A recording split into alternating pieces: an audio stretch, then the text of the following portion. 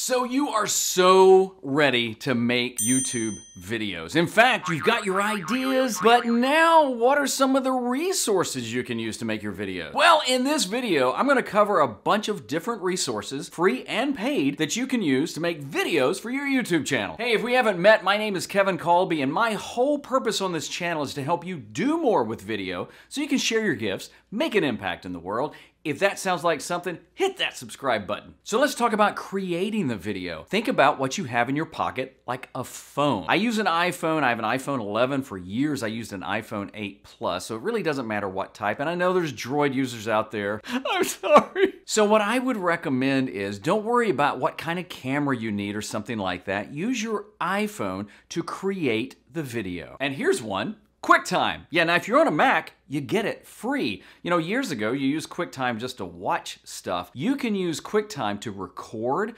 screen record, do an audio. You can even do a little editing in there too. I did a video before, I'll put a link to it down in the description, of, of more you can do with QuickTime, but it is a way to create video. Let's talk editing. So once you've shot the video, you may want to like do a little editing. I'm a huge Final Cut Pro fan. They used to call it Final Cut Pro X. Now it's just Final Cut Pro, but it is absolutely amazing. Now I, I, I add a lot of plugins and things like that, but even if you don't want to do that, it comes, I started to say out of the box, but you actually download it. It comes with tons of plugins and effects. So Final Cut Pro, it's only like $2.99. And in fact, you can still get it for free for a trial period. And there's a there's a link for how you can get that down in the description. But let's say you've never really edited a lot or maybe edited before and you're on a Mac, use iMovie. Look, years ago, iMovie was just like barely basic, but they've done a recent upgrade and it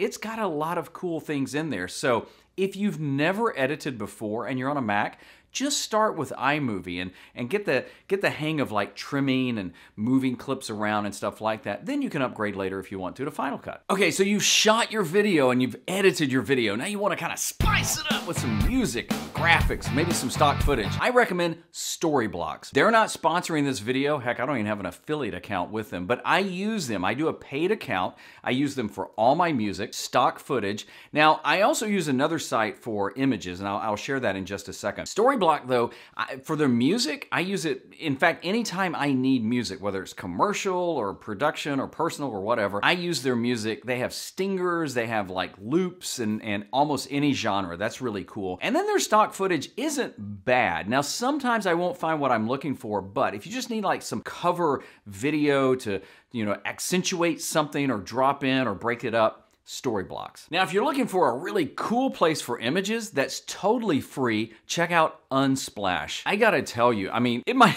be worth just going there and just browsing through what they've got. And you can sort by landscape or vertical, but Unsplash, totally free Totally worth it. All right, now what about graphics? I recommend Canva. In fact, Canva is my go-to for every graphical thing I do. Is that word graphical? Is that a is that a word? I use it for my thumbnails. I've used it for live stream graphics. I've used it for presentations. Now there's a free plan and there's a paid plan. The paid isn't that much. I, it, I think it's under 120 a year. It gets you even more. There's templates in there. They even have stock footage. Canva, it's like the And another Another resource that may not seem that obvious is TubeBuddy. Now, TubeBuddy is a phenomenal tool. In fact, it's one of the tools I used to help me grow my channel. You can get in there and do your keyword research. You can basically look for ideas before you ever shoot your video. In fact, there's another video I did about how to come up with ideas, and I talk about TubeBuddy in that. But I would recommend TubeBuddy before you even start this whole process of creating, and then that will help you kind of refine refine your idea. So here's my question for you.